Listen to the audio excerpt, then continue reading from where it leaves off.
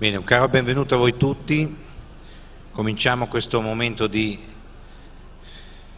presentazioni, di letture che il meeting ha fatto proprie e intende condividere.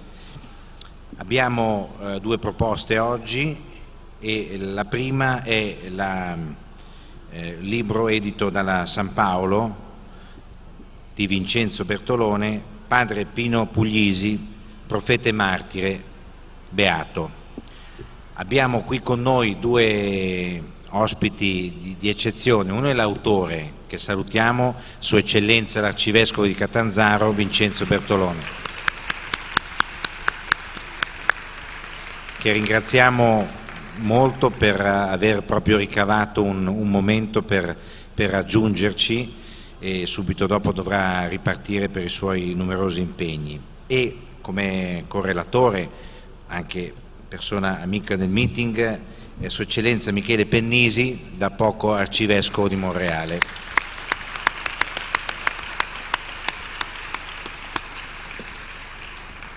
Siamo in compagnia sia di un, di un presente eh, potente che ci può guidare, cioè il Beato Pino Puglisi, oltre i due ospiti, di un, un gruppo di amici siciliani, nati e cresciuti nella stessa terra seppur in, in punti diversi.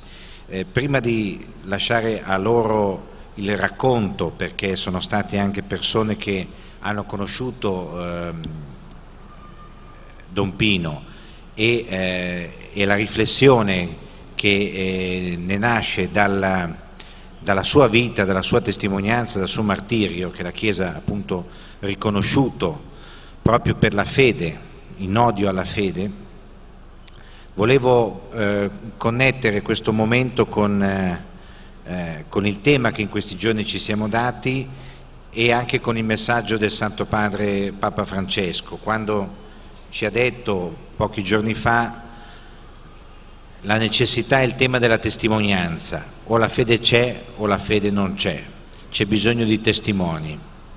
E anche quando ha detto che il potere che tende sempre, qualsiasi potere, qualsiasi forma aggregata di uomini che anziché cercare ancora la verità, cercano sostanzialmente il mantenimento delle proprie possibilità, cioè del proprio potere, inizia a, a impensierirsi, inizia a diventare più cattivo e influente quando nota che qualcosa inizia a dialogare con, con qualcosa d'altro quando l'uomo inizia a essere legato a qualcosa che lo definisce nel profondo, che si attacca, che si aggancia direttamente al suo desiderio, al suo bisogno di vita profondo.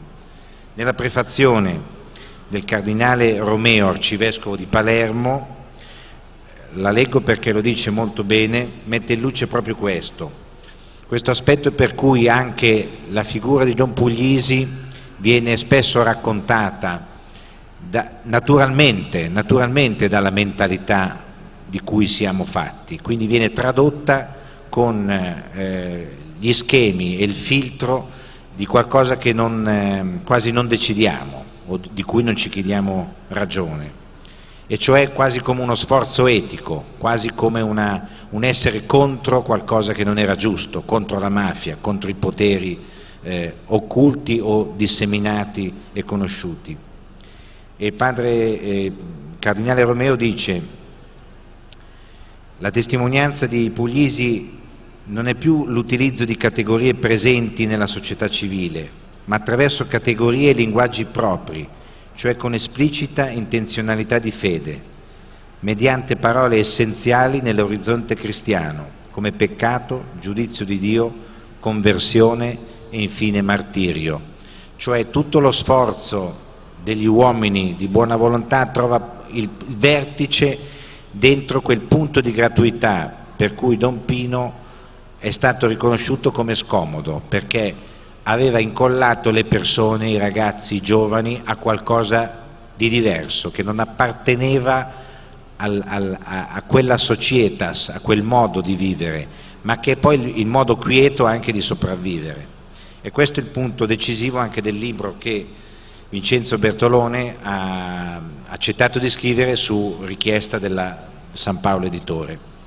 Io do anzitutto la parola a Michele, Sua Eccellenza Pennisi, che lo ha conosciuto e che anche lui eh, vive la sua testimonianza di vescovo nelle varie città della Sicilia, oltre che anche responsabilità nella Chiesa nazionale.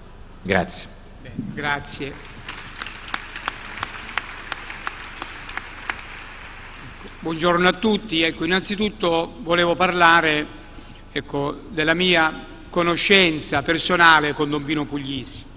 Ho conosciuto Don Pino Puglisi quando io ero rettore del seminario vescovile di Caltagirone e direttore dell'ufficio diocesano vocazioni, mentre Don Pino era direttore dell'ufficio regionale delle vocazioni. Egli mi invitò una volta a tenere una conferenza, un incontro per tutti i responsabili regionali su questo tema, la cresima sacramento delle vocazioni cristiane. Ecco, voglio iniziare da lontano perché spesso si pensa che Puglisi sia diventato santo solo negli ultimi anni. Ecco, la santità di Puglisi, che è una santità ordinaria, vissuta in modo straordinario, inizia ecco, dal suo essere sacerdote. Quindi questo interesse per le vocazioni, questo interesse per promuovere le vocazioni di ogni cristiano, la vocazione alla santità. Poi ho avuto modo di approfondire con lui questa amicizia nel 1984 perché ecco, quasi per un anno ogni sabato ho cenato con lui, mi recavo a Palermo per coordinare l'area culturale del convegno delle chiese di Sicilia e ho avuto modo appunto di approfondire con lui l'amicizia. Quando è stato ucciso io sono rimasto sconvolto è stato l'indomani mattina che il telegiornale, perché è stato ucciso la sera del 15 settembre, ecco io dicevo, sono rimasto sconvolto, non credevo prima ai miei occhi, perché lo conoscevo come un sacerdote coraggioso ma anche molto mite, col sorriso sulle labbra. E allora prima mi sono informato e poi ecco, ho ritrovato adesso da qualche tempo il telegramma che io mandai proprio il 16 settembre al cardinale Pappalardo. Voglio leggere ecco, che delinea l'immagine che avevo di lui già l'indomani della morte. Scrivevo, unito in preghiera, partecipo al dolore della Chiesa di Palermo per il vile assassinio di padre Giuseppe Puglisi, amico carissimo, annunciatore mite e coraggioso del Vangelo, perla del clero palermitano, sperando che il suo sacrificio contribuisca all'incremento delle vocazioni ecclesiali alla diffusione dell'amore, della civiltà dell'amore e alla sconfitta della barbarie mafiosa. Quel giorno stesso il telegiornale diceva che c'erano varie piste, una delle piste che eh, venivano seguite era quello che era stato ucciso da un balordo, da un tossicodipendente per una rapina, perché come risulta dagli atti del processo eh, diciamo, giudiziario ma anche da quello canonico, la mafia aveva paura ecco, di eh, far capire che era stata la mafia a ucciderlo ecco, e allora aveva simulato questa falsa rapina per ucciderlo. E veramente, allora io devo ringraziare veramente Monsignor Vincenzo Bertolone, ecco, perché è stato uno zelante appassionato postulatore, cioè colui che ha curato la causa nella tappa finale, perché la causa per la beatificazione per martirio si era bloccata perché ecco, la commissione dei cardinali e dei vescovi voleva sapere se si trattava veramente di martirio in odio alla fede oppure se si trattava di uno dei tanti preti antimafia che si opponeva alla mafia più per motivi civili che per motivi ecclesiali. E quindi invece eh, Monsignor Vincenzo Bertolone ecco, ha ricostruito in questa opera, anche in un'opera precedente, con amore e impegno, le opere e il ministero sacerdotale di Don Pino Puglisi, parroco di Brancaccio. È un libro che non si limita a raccontare la storia di Don Pino, ma è arricchito da profonde venature spirituali, da riflessioni bibliche, da riflessioni teologiche sul senso del martirio, sul senso della lotta fra il bene e il male, sul, sul ministero sacerdotale, sulla importanza del perdono per un cristiano. Ed è interessante come questo libro ci indica appunto il beato Puglisi come martire e come profeta. Volevo innanzitutto insistere su questa parola beato. La parola beato ci fa dire che la santità ecco, coincide con la felicità, ecco, anche se una felicità che si ottiene attraverso il sacrificio, ecco, nel caso del martirio attraverso la morte. Quindi è beato, felice, ha realizzato se stesso attraverso tutta una vita sacerdotale, il cui epilogo è stato il martirio. Eh, diciamo, il libro si articola in vari capitoli. Innanzitutto si parla dell'attualità del martirio, nell'eterna lotta fra il bene e il male. E poi c'è una lunga trattazione che tratta del rapporto Chiesa-mafia. Ecco, certamente la Chiesa ha trovato all'inizio difficoltà ad elaborare una risposta alla mafia e anche quando l'ha fatto all'inizio si è messa a livello dell'etica civile, del comune rimando alla giustizia, alla condanna della violenza che stanno alla base di una società ordinata, ma non emergeva l'originalità del messaggio cristiano. In realtà, in seguito ad alcuni eventi, il discorso soprattutto di eh, eh, Giovanni Paolo II ad Agrigento e poi il martirio di Puglisi, ecco, la Chiesa ha incominciato a capire, a prendere una chiara, esplicita, ferma convinzione dell'incompatibilità tra l'appartenenza mafiosa con la professione di fede cristiana, in quanto il mafioso, in forza della sua appartenenza alla cosca dedita al crimine, si pone oggettivamente fuori dalla comunione ecclesiale. Ricordo una volta il cardinale Pappalardo che disse ecco la mafia si presenta come l'anticorpo mistico di Cristo o un anticorpo mistico di Cristo. E quindi è stato fondamentale, è stato fondamentale, diciamo, e lo mette in evidenza il libro di Monsignor Bertolone, mettere in evidenza l'originalità ecco, dell'opposizione alla mafia che deriva dal Vangelo e dal messaggio cristiano. Ecco, viene spiegato il contesto storico in cui è maturato il martirio di Don Puglisi. Qual è stato il contesto storico?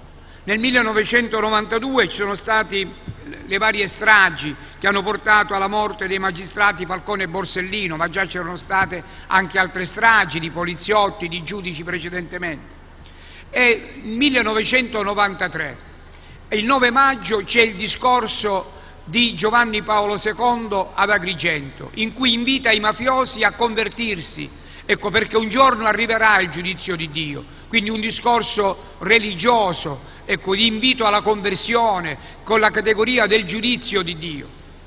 Ecco, alcuni mesi dopo, nel mese in estate, ci sono stati alcuni attentati ad alcune chiese, a San Giovanni il Laterano, che è la sede della cattedrale del Papa, e a San Giorgio il Velabro e non sono stati a caso. La mafia in quel momento ha incominciato a capire come con la Chiesa non poteva più scendere a patti. La Chiesa era un nemico, un nemico potente per cui aveva paura di attaccarla frontalmente, però voleva dare dei segnali. E il terzo segnale è stato dato con l'uccisione, ecco, il giorno del suo compleanno di Don Pino Puglisi. Un'uccisione che ha cercato di mascherare perché, come si dice nel libro, è stata usata una pistola che, di basso calibro che solitamente non si usava negli omicidi mafiosi.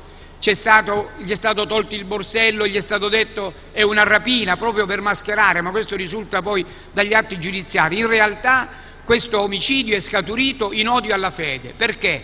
Don Puglisi, col suo ministero sacerdotale di catechesi, di educazione dei bambini, di aggregazione delle famiglie, ecco, costituiva nel quartiere ecco, una, diciamo, contraltare, tra virgolette, perché, alla mafia, la mafia che dominava quel quartiere. E allora i mafiosi del quartiere Brancaccio, i Graviano, hanno capito che bisognava, prima hanno dato dei segnali forti e poi hanno capito che bisognava eliminarlo. Ecco, Ecco, nel libro vengono presentate le virtù teologali, cardinali, eh, la, eh, i consigli evangelici, l'umiltà, la mitezza di eh, Don Pino Puglisi, ma il martirio viene presentato come una conseguenza non ricercata di un'umile volontà quotidiana di seguire il Signore, senza spettacolarità o protagonismi. Erano gli anni in cui a Palermo c'erano anche dei preti antimafia, preti con la scorta, preti che partecipavano a trasmissioni televisive. Ecco, Don Pino non partecipava a trasmissioni televisive, non aveva la scorta, non l'aveva neanche chiesta, però era un prete che con l'educazione dei giovani ecco, toglieva alla mafia ecco, l'erba sotto i piedi, il terreno sotto i piedi. E quindi ecco, la mafia l'ho ucciso perché eh, la logica della mafia era incompatibile con quella del Vangelo. Ecco, allora viene presentato come un prete. Ecco, il suo martirio è stato in quanto prete. Questo è stato determinante per riprendere la causa di beatificazione che rischiava di arenarsi. Ecco, mi pare importante quello che disse anche il mio predecessore nella sede di Monreale, Monsignor Naro. Ecco, disse che quello che aveva fatto l'aveva fatto per realizzare un indirizzo pastorale voluto e incoraggiato dal suo vescovo e condiviso da altri sacerdoti. Spesso si è detto che la Chiesa l'ha abbandonato. Io in quegli anni frequentavo molto il cardinale Pappalardo, posso dirvi che il cardinale Pappalardo aveva veramente un, un, legame molto profondo con Don Pino e Don Pino aveva un legame molto profondo col cardinale Pappalardo. Mi pare interessante quello che scrisse eh, Gianni Bace di Bozzo, che viene riportato. Don Puglisi non è stato ucciso per ammonimento o per rappresentanza, è stato ucciso perché era lui e perché quel faceva. È stato ucciso perché prete cattolico, perché sacerdote di Cristo. E in questa morte noi leggiamo la morte di un prete per il suo ministero. Quindi mi pare che allora la testimonianza di Don Puglisi, ecco, il suo coraggio sia una testimonianza profetica perché indica alla Chiesa, e quando parlo di Chiesa non mi riferisco soltanto ai sacerdoti, ma ogni cristiano una via, la via evangelica ecco, di testimoniare Cristo, di seguire Cristo, che comporta anche il rifiuto del male e quindi il rifiuto della mafia, del rifiuto della mafia come una forma pratica di, ateismo. Ecco, Don Pino diceva, noi abbiamo un Padre nostro, per questo ecco, ha, ha intestato il suo cento al Padre nostro, non abbiamo bisogno di padrini e questo per la mafia, ecco, dire questo in quell'ambiente significava in qualche modo eh, delegittimare i fratelli Graviano, delegittimare la mafia.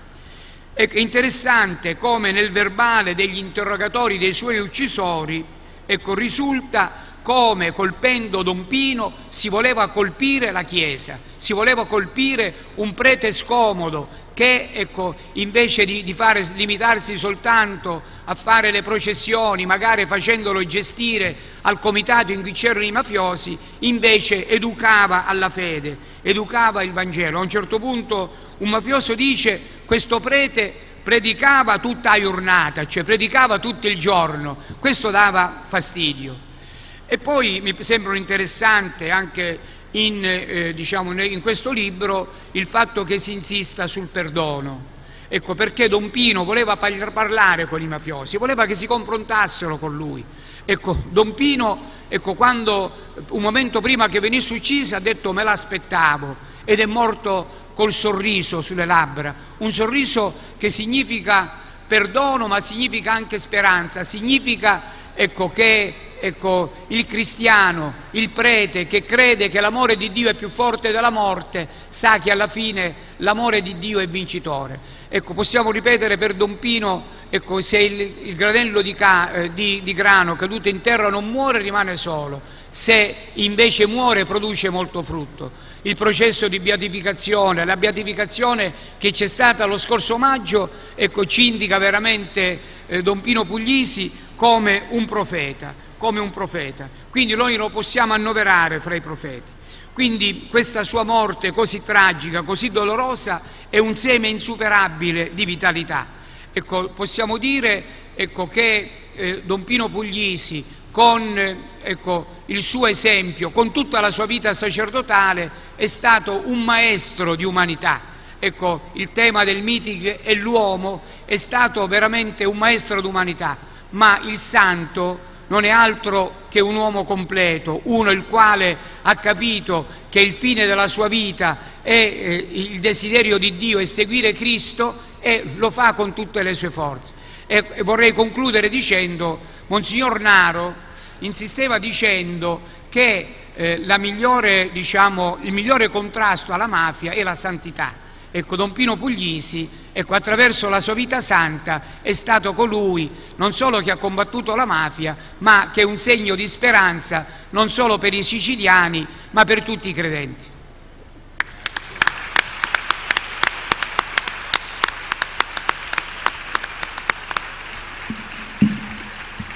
Grazie a Sua Eccellenza Pennisi per la precisa e appassionata riflessione non avevamo mai sentito, almeno personalmente, correlati quei mesi dal discorso di Giovanni Paolo II del 9 maggio ad Agrigento, così vibrato, forse qualcuno lo ricorda, e gli eventi successivi fino alla, alla singolarità di questo uomo, perché l'uomo è una cosa piccola, però è tutto. Tant'è vero che dire, la violenza, come anche negli anni del terrorismo, quello più intelligente è sempre rivolto al singolo, perché la, la vera risorsa è la persona.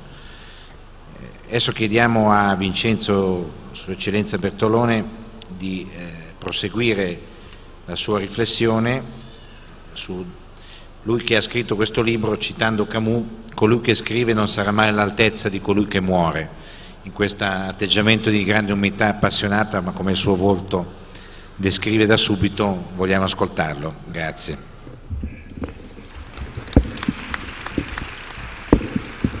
L'aria, condizionata mi ha fatto abbassare la voce, quindi dovete contentarvi di una voce che non è la mia.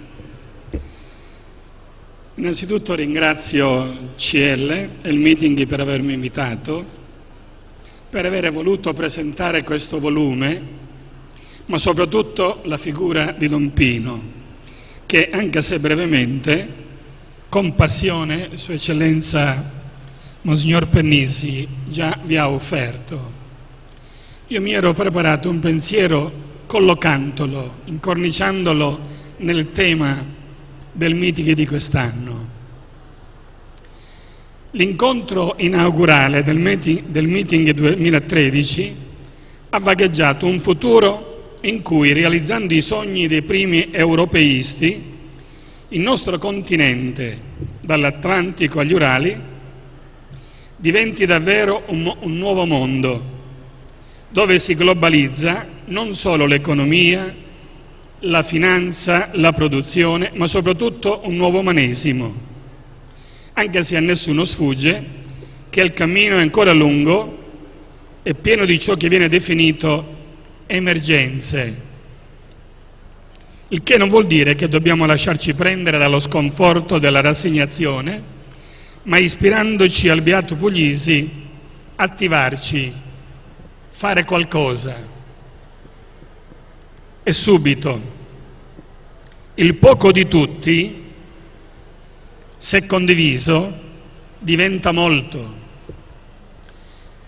Se qualcuno, se ognuno di noi fa qualcosa, insieme possiamo fare molto.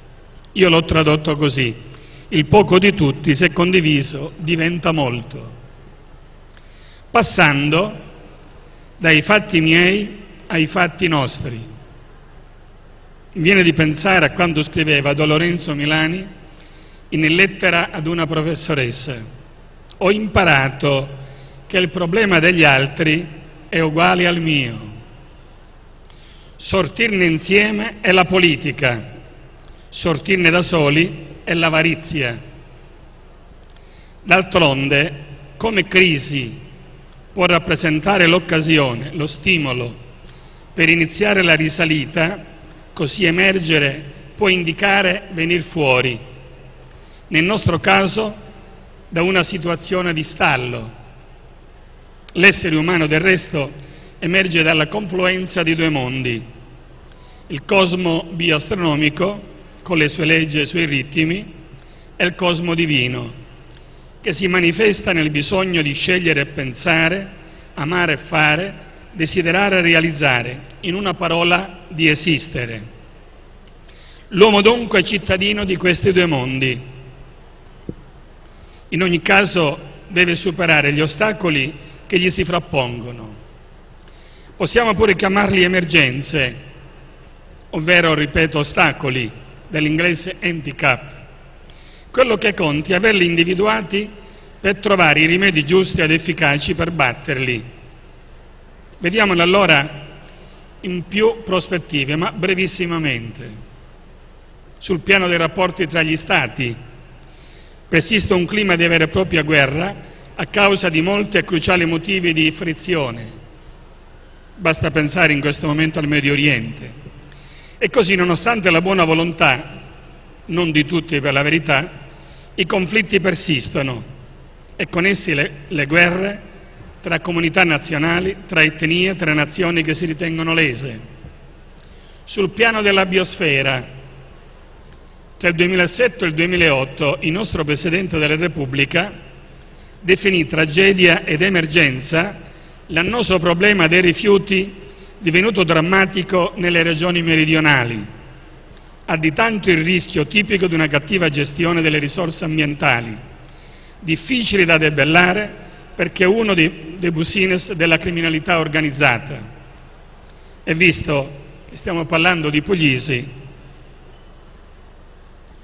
diciamo chiaro e tondo che la prima emergenza europea, mondiale, è la piovra.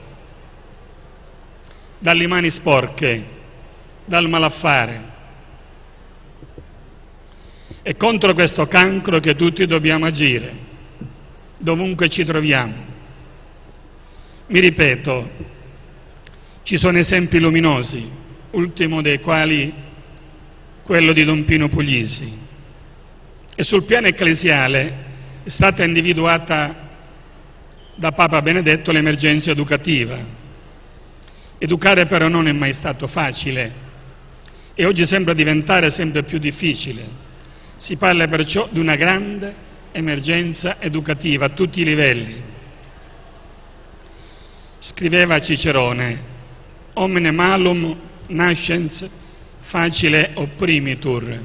Ogni male al suo insorgere, nel suo nascere, si può neutralizzare, meglio si può prevenire, anche perché gli scontri frontali sono onerosi e dolorosi, come hanno ben osservato coloro i quali hanno parlato, come ha fatto poc'anzi Monsignor Pennisi, di un padre Pino Puglisi uomo mite, coraggioso, con la corazza della fede. Cristo era tutto per lui. ma lo ha fatto con la mitezza evangelica.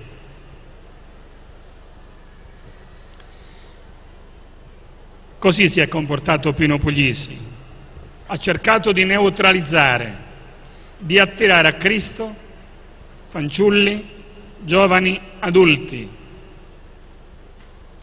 Se voi pensate che di fronte alla chiesa di San Gaetano c'è un bar, c'era e c'è, e il barista era il portavoce, colui che informava il Graviano. Il vedere accorrere nella chiesa di San Gaetano a tutte le ore tanta gente che non andava più dai Graviano, ma andava tramite Puglisi a Cristo, significava togliere l'erba sotto i piedi, è stato detto. Significava togliere il prestigio, togliere il potere, togliere il comando di quella zona. Ecco il perché ha scatenato un odio criminale nei riguardi di un inerme sacerdote. Quindi non un prete contro, ma un prete e basta, semplicemente prete. Fu ucciso dai mafiosi, ripeto, non in odio alla sua trincea contro di loro, bensì in odio alla fede cristiana che professava attraverso il suo ministero sacerdotale. E come è stato ben detto, non sono stati gli ultimi anni a farlo grande. Basta pensare quello che avvenne a Goderano, la sua prima parrocchia. A Goderano incontrò due famiglie contrapposte di mafiosi, ad una delle quali era stato ucciso il figlio. Quindi immaginate l'odio che c'era in quella mamma verso l'altra mamma, verso l'altra famiglia. Puglisi, quando andò a Goderano, ma come usava fare, portava con sé sempre la Bibbia, o sotto l'ascella o nel cruscotto della macchina. Andando in famiglia leggeva sempre una pagina di Bibbia. Questa signora disse, senta padre Puglisi, se lei viene qua perché mi vuole convertire, mi vuole fare perdonare, che mi ha ucciso mio figlio, è meglio che lei non viene più. Padre Puglisi rispose, io non vengo perché voglio convertirla, voglio leggere il Vangelo assieme a lei se me lo permette allora può venire quando vuole.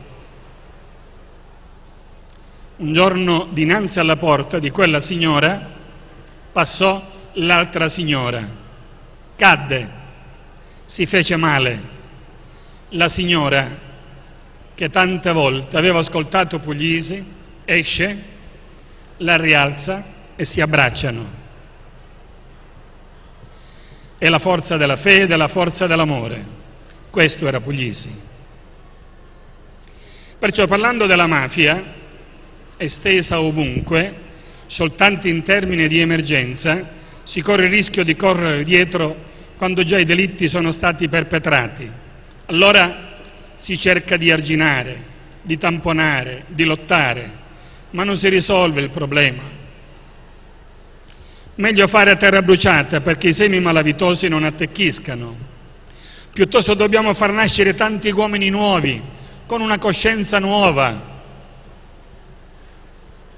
ad immagine di Cristo, con una fede vera.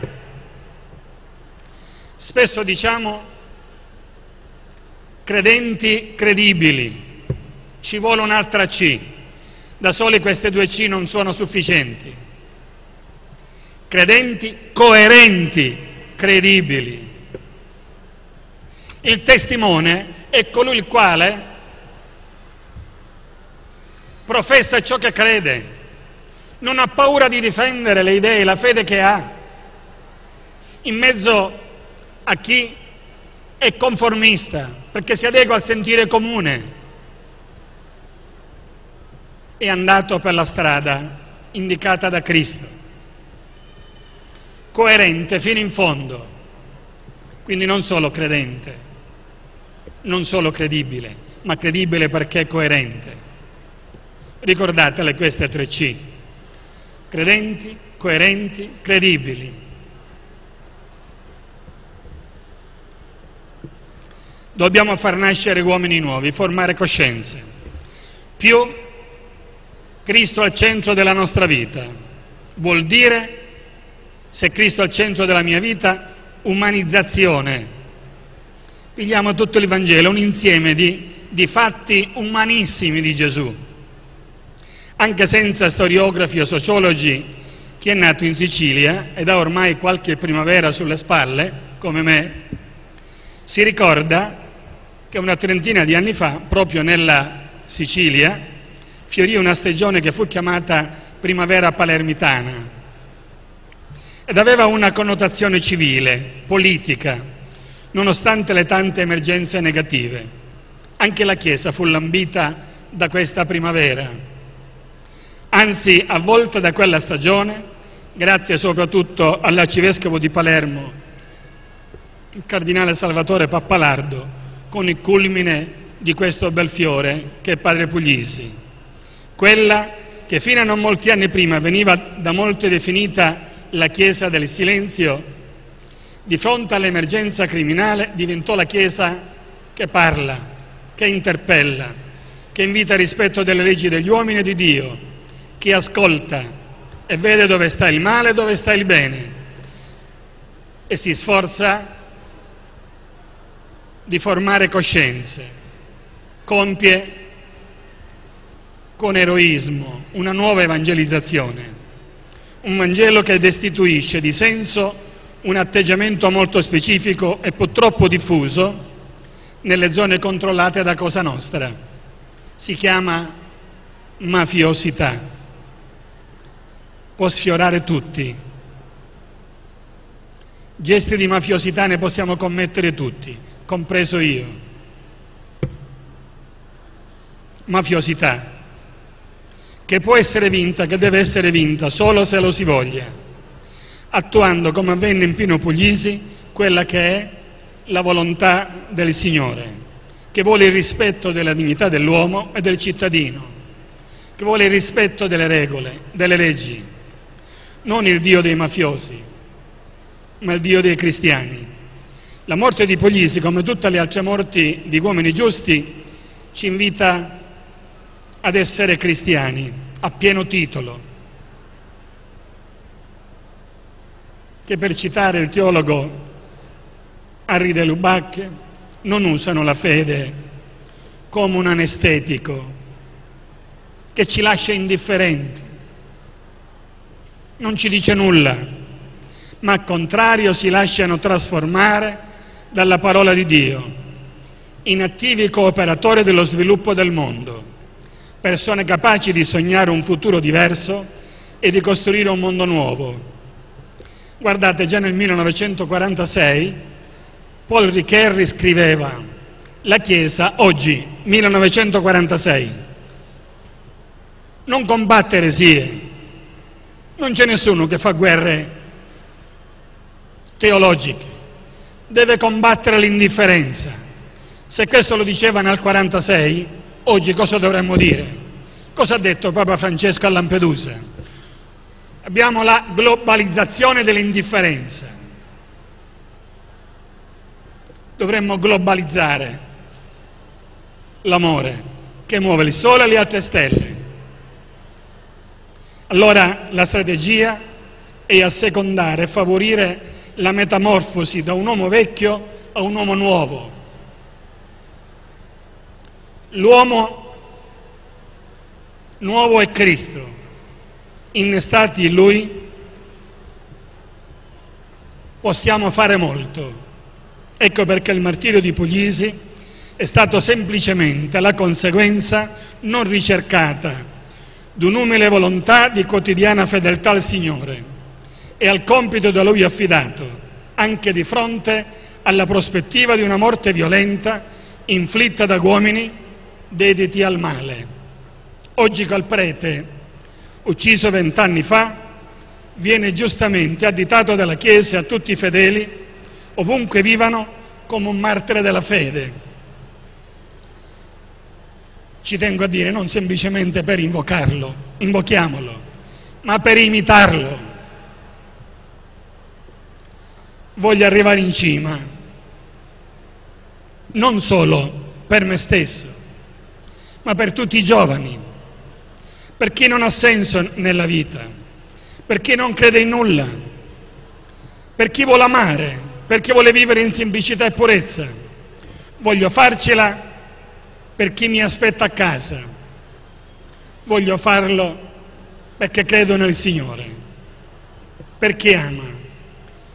A Don Puglisi si, si addice molto bene un pensiero di Albert Camus ho capito che non era sufficiente denunciare l'ingiustizia, fare l'antimafia a parole, bisognava dare la vita per combatterla e lui l'ha data.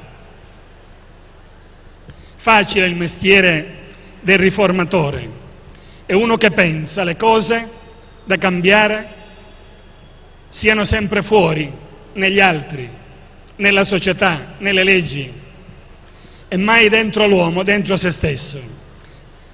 È da noi che dobbiamo partire. Non è facile, si intende, ma bisogna fare così. Questo vuole Gesù, questo ha fatto Puglisi. Il compendio della dottrina sociale della Chiesa sprona a riesaminare il Vangelo proprio laddove vi è l'emergenza maggiore, la verità stessa dell'essere uomo vagheggiando l'utopia baconiana di comandare la natura nella prassi, resta il pericolo non tanto di non far emergere la forma umana dalle forme primordiali e inferiori, quanto di farla regredire fino ad un vuoto strumentalismo, la cui logica dell'eterno ritorno fonda un sapere troppo tecnicistico per far nascere i fiori della speranza. La nuova evangelizzazione ad Christianam fidem tradendam, come è stato detto sinodo, nel sinodo del 2012, questa nuova evangelizzazione nella trasmissione della fede sta nel fare ridiventare ordinaria la fede cristiana, anzi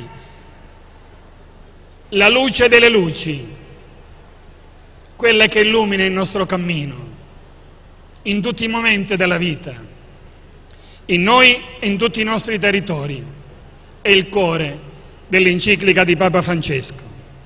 Sia pochi è concesso il martirio di sangue, tutti però devono essere pronti a confessare Cristo davanti agli uomini e a seguirlo sulla via della croce durante le persecuzioni che non mancano mai nella Chiesa. Concludo. Carissimi amici, la ricchezza di una vita data per il Vangelo è ancora capace di farci trasalire, di impegnarci per una seguela a Cristo più leale e gioiosa? Dico di sì. Grazie.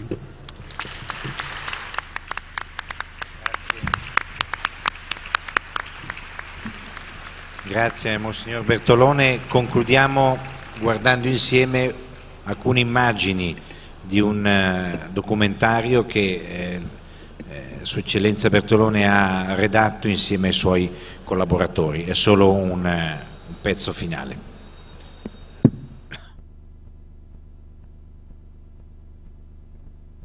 Dopo l'assassinio di Don Pino, il giorno dei suoi funerali, dall'eremo della Verna si leva forte il grido di dolore di Giovanni Paolo II.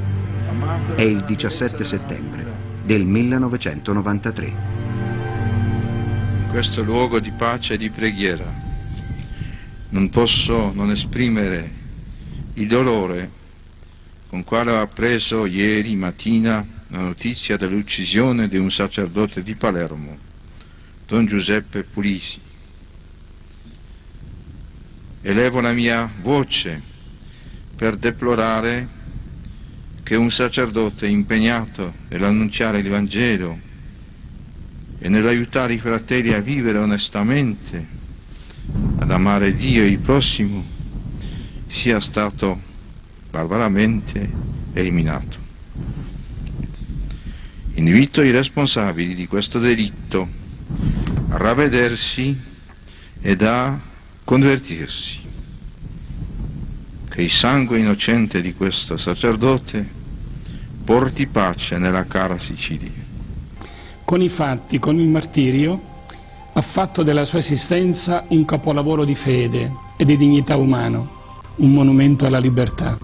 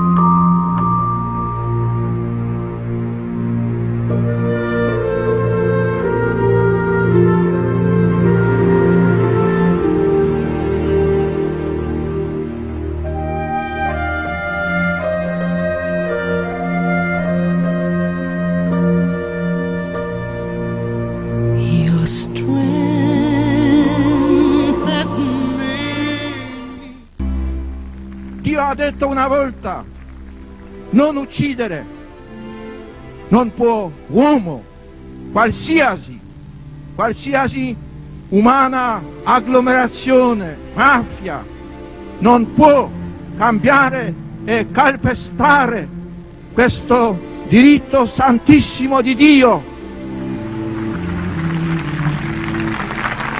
Questo popolo, popolo siciliano, talmente attaccato alla vita, popolo che ama la vita, che dà la vita, non può vivere sempre sotto la pressione di una civiltà contraria, civiltà della morte.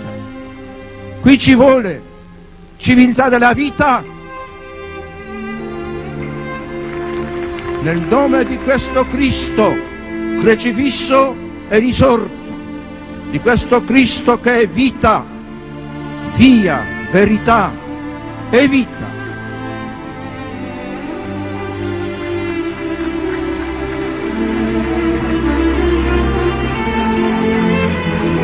Lo dico ai responsabili, lo dico ai responsabili, convertitevi, una volta verrà il giudizio di Dio.